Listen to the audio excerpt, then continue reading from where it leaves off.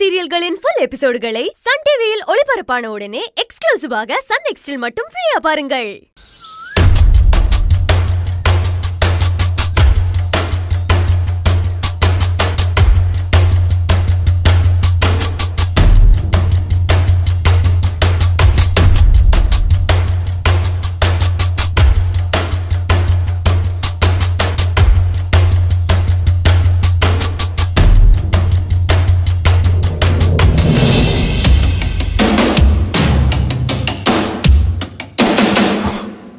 அம்மா வாசழியன்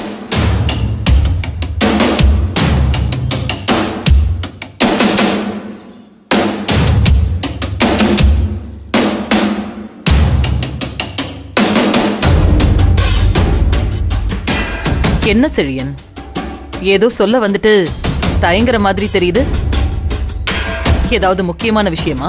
முக்கியமான விஷயம். அப்படிலாம் இல்லை. ஆனா உங்ககிட்ட இதை பத்தி அ, பேசணும்னு தோணுது. அப்போ அது முக்கியமான விஷயம்தான். முதல்ல நீ உட்காரு என்னன்னு சொல்லு. உட்காரு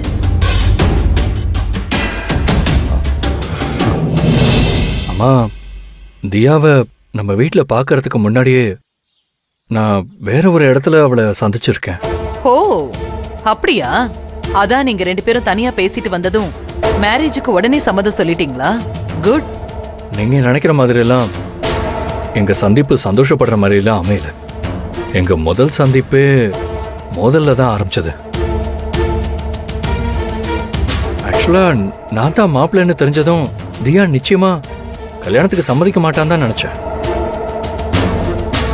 ஆனா அப்படி ஒரு சம்பவத்துக்கு அப்புறம் அவ கல்யாணத்துக்கு சம்மதம் சொன்னது எனக்கே ஆச்சரியமா இருக்கு. செழியன் என்ன சொல்ற? அப்படி உங்களுக்குள்ள என்னதான் பிரச்சனை? அம்மா எங்களோட முதல் சந்திப்பே மிகப்பெரிய பிரச்சனையில தான் ஆரம்பிச்சது. அதுவும் ஒரு ஷாப்பிங் மால் பார்க்கிங்ல.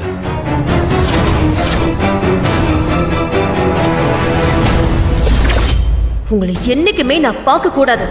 அப்படி எங்கேயாவது நான் உங்களை பார்த்தேன்னா அன்னையில இருந்து உங்களோட அழிவு காலம் என்னால ஸ்டார்ட் ஆகும்.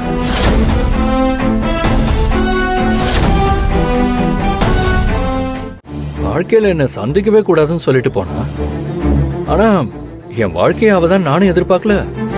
அவளும் எதிர்பார்க்கல. அவ செஞ்ச தப்பையே உணராம ஒரு மாதிரி ஆணவமா திமிரா நடந்துகிட்டாமா? இப்ப நான் அவளை கல்யாணம் பண்ணா என் வாழ்க்கை நல்லா இருக்குமா? இல்ல இதே மோதல் தொடருமான்னு எனக்கு ஒரே குழப்பமா இருக்கு. அதனாலதான் நடந்த இந்த விஷயத்த நான் உங்க கவனத்துக்கு கொண்டு வந்தேன். இதுக்கப்புறம் நீங்க என்ன முடிவு சொன்னாலும் அதுக்கு நான் கட்டுப்பட தயாரா இருக்கேன். இதுதான் விஷயமா? இத பாரு செழியன். தியா நம்மள மாதிரியே பெரிய செல்வாக்கானவன். நம்ம வீட்ல வேலை செய்யற ஒரு சாதாரண பொண்ணுகிட்ட நீ தியாவ மன்னிப்பு கேட்க சொன்னது தப்பு. தனக்கு மேல இருக்கிறவங்க கிட்ட வேணா தலை வணங்கி போகலாம். ஆனா என்னைக்குமே தனக்கு கீழே இருக்கிறவங்க கிட்ட தலை வணங்க கூடாது. அப்படி தலை வணங்கிட்டா நாம மேல இருக்கிறதுல அர்த்தமே இல்லாம போயிடும். மன்னிப்புங்கிற பெரிய வார்த்தையை எல்லாம் நீ தியாவை பயன்படுத்த சொல்லியிருக்க கூடாது. அத வேற மாதிரி டீல் பண்ணி அந்த பிரச்சனைய நீ ஒரு முடிவுக்கு கொண்டு வந்திருக்கணும். சரி நடந்தது நடந்து போச்சு. அவ உன்னை பிடிக்கலன்னு சொல்லிட்டு போயிருந்தா பிரச்சனையே இல்லைன்னு நானும் விட்டுட்டு போயிருப்பேன். ஆனா அத அவ பெருசா எடுத்துக்காம உன்னதான் பிடிச்சிருக்குன்னு சொல்லிட்டு போயிருக்கா. அதனால நீயும் இத பெருசா எடுத்துக்க வேண்டாம். நடந்தத ஒரு கெட்ட கனவா நினைச்சு நீயும் மறந்துரு. அத அவளும் மறந்துருவா. என்ன பொறுத்த வரைக்கும் தியா தான் உனக்கேத்த ஜோடி. அவதான் இந்த வீட்டு மருமக. அவளை நீ புரிஞ்சுக்க முயற்சி பண்ணணும். அவளும் உன்னை புரிஞ்சுக்க முயற்சி பண்ணணும். அதுதான் ரொம்ப முக்கியம். நீங்க இவ்வளவு கான்பிடென்ட்டா சொல்லும்போது இந்த விஷயத்தை பொறுத்த வரைக்கும் இதுக்கு மேல நான் பேசுறதுக்கு எதுவுமே இல்லை. உங்க விருப்பப்படியே நான் தியாவை கல்யாணம் பண்ணிக்கிறேன்.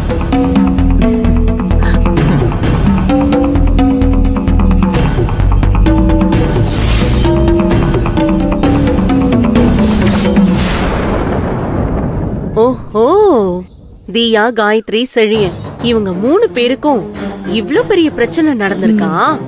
ரேஷ்மா நம்ம செழியன் பேசுறத வச்சு பாக்குறப்போ அவனுக்கு தியாவை பிடிக்கலன்னு தெளிவா தெரியுது. ஆமா மம்மி. ஆதிசங்கரி ஆண்டி சொல்ற ஒரே காரணத்துக்காக தான் செழியன் தியாவை கல்யாணம் பண்ணிக்க சம்மதிக்கிறான். செழியன் மனச மாத்துறது நமக்கு பெரிய விஷயமே இல்ல. இந்த பகையை நாம பயன்படுத்தி நாம செழியனுக்கு தியாவை பிடிக்கலன்னு சொல்ல வைக்கணும். ஆதிசங்கரி ஆண்டிய செழியன் எதிர்த்து பேசுற சூழ்நிலைய நம்ம உருவாக்கணும். அதுக்கு நாம காயத்ரிய பகடக்காய பயன்படுத்துவோம். இந்த கல்யாணம் நிச்சயதார்த்தத்துக்கு முன்னாடியே நின்னு போயிடும்.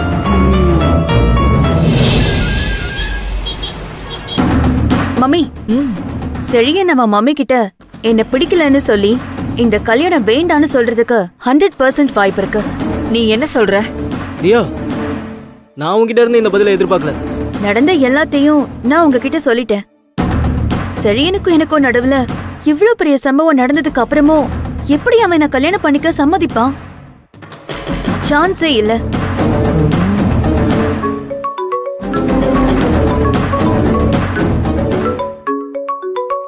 ஆதிசங்கரி தான் கால் பண்றா.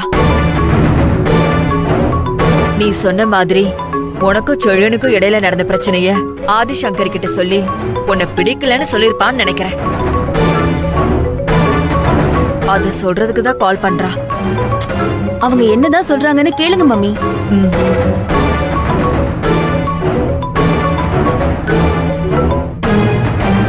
ஹாய் ஆதி. இப்பதான் நாங்க வீட்டுக்கு வந்தோம். நான் கூட உன்னதான் நினைச்சிட்டு இருந்தேன். அதுக்குள்ள நீயே ஃபோன் பண்ணிட்ட. ஓ அப்படியா? ஐஸ்வர்யா பக்கத்துல தியா இருக்காளா? ஆ இங்கதான் இருக்கா. அவகிட்ட கொஞ்சம் போனை கொடு. கொடுக்கறேன். பேசு. சொல்லுங்க ஆண்டி. ஒண்ணுல தியா. செழியன் இப்பதான் உங்களோட ஃபர்ஸ்ட் மீட்டிங்க பத்தி பேசிட்டு இருந்தான்.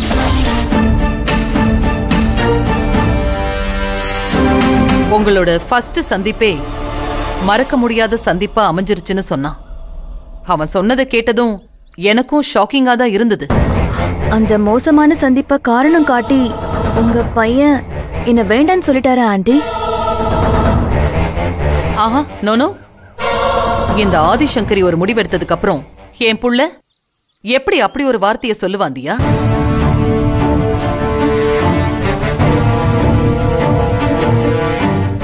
நடந்த அந்த கசப்பான நிகழ்வை. நீயும் மறக்கணும் அவனும் மறக்கணும். என்னைக்குமே அத பத்தி நீங்க ரெண்டு பேருமே நினைக்கவே கூடாது.